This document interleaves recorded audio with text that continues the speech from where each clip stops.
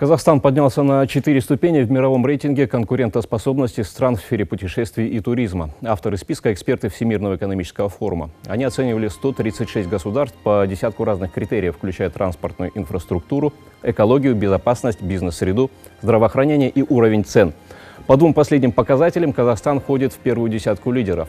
В общем же рейтинге Казахстан находится на 81 месте. По данным в прошлом году Казахстан посетили больше 4,5 миллионов человек.